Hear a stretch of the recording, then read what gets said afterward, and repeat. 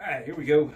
We got the Federal Fusion 300 blackout, and we're going 100 yards. We're doing the water trajectory test. It's where we got a quarter inch board, water jug, quarter inch board, water jug, quarter inch, blah, blah, blah, with the uh, scientifical griddage on there so we can get proper measurements to be as scientifically good enough, close enough.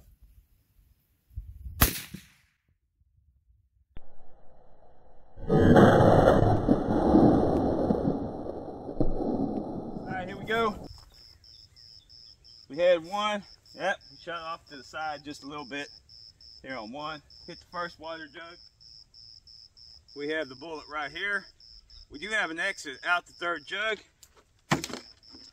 And we have made contact with the fourth bullet. All right, here we go, folks.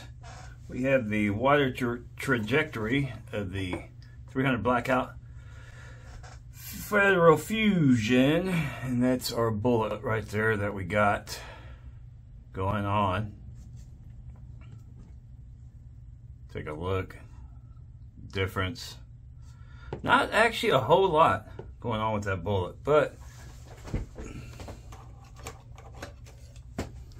we do have a flight plan plotted. All right, we're gonna get some measurements roughly from center center end just to kind of get an idea of how far off it was going.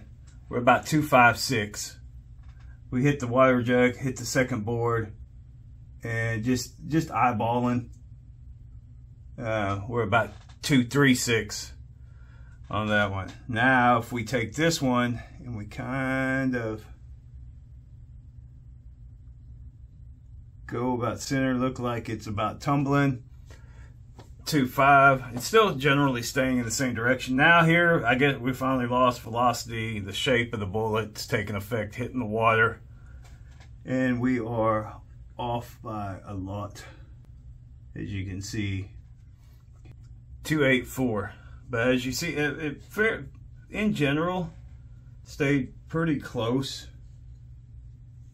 to where we were impacting on the first three, you had a water jug and a water jug. So on impact, stayed good. Looked like it was kind of starting to tumble here, maybe. So yeah, we're we're pretty close.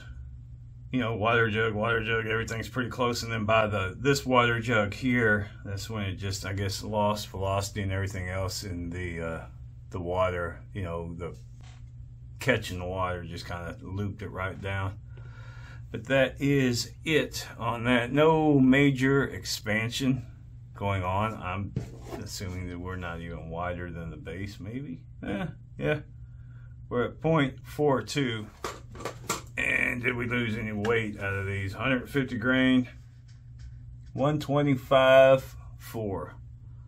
So, yeah, we lost 25 grains. Not not bad not not bad at all on this hitting the jug hitting the jug so we didn't we didn't go too far off it was on this last jug where i guess finally the velocity and everything just poof went down and that was it. So there you go. That is the water trajectory of the federal fusion 300 blackout right there for you. Not too bad